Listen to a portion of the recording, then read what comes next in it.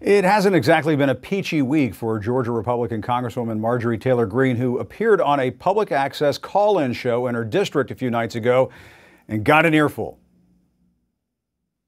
Thank God for Joe Biden. She is an embarrassment to the state of Georgia. Well, we all have our opinions. Amen to that, and I've got mine. All righty. Thank you. Righty, thank you. Greene, who helped lead the right wing charge to overturn the 2020 election results, learned that people back in her home state have been paying close attention to her ridiculous antics.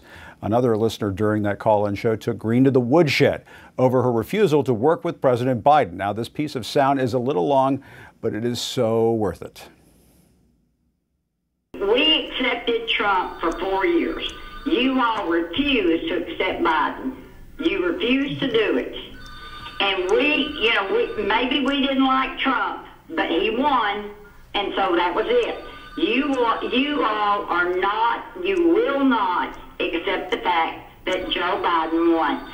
And that is the whole thing. You're not going to accept it. You're going to keep on and keep on and just peck, peck, peck.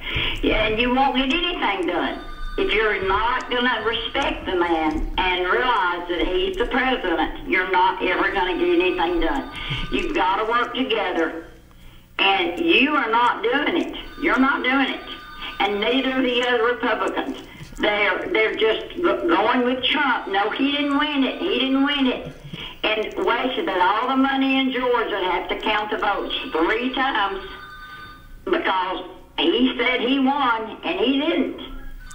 To me, it would everything in Washington would be would settle down if every if the Republicans would just say, oh, "We didn't win." It's like Alabama and Florida, the Alabama people. Well, we didn't. We really should have won.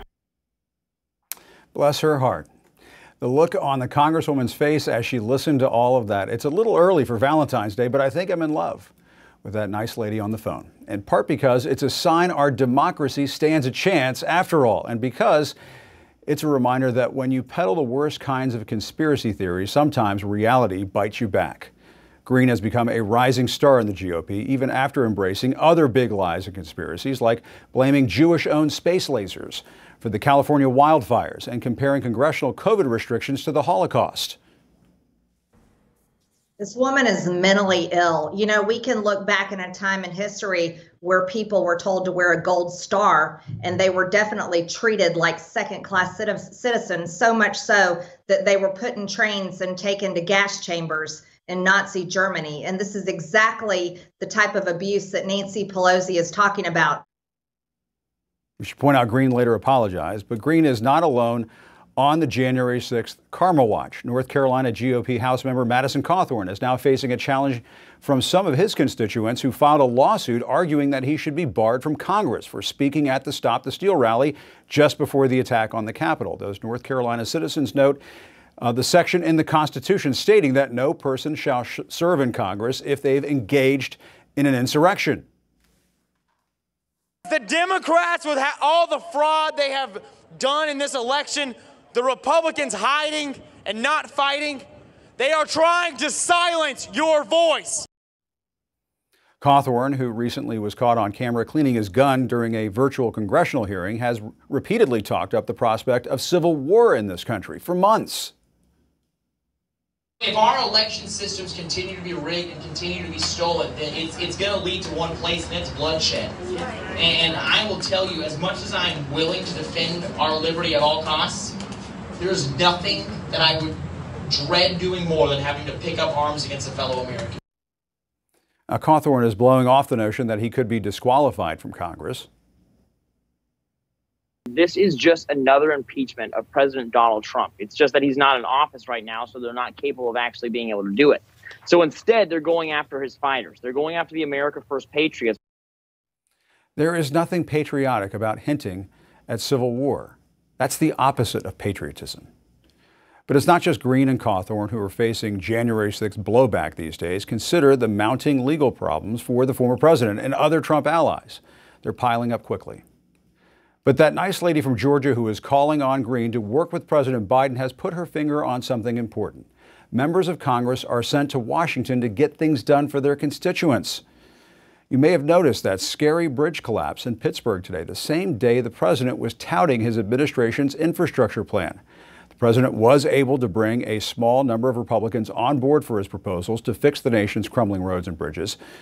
The vast majority of GOP lawmakers, though, voted against it. But there is another category of Republican when it comes to infrastructure, the kind who takes credit for all of that money coming back to the states, despite their opposition to the bill. Iowa GOP Congresswoman Ashley Hinson tweeted how she secured hundreds of billions of dollars for a project in her state, even though she opposed the infrastructure bill. Democracy may be in peril, but hypocrisy isn't. Perhaps some Republicans are just confused given what's coming out of the state TV network for the party these days.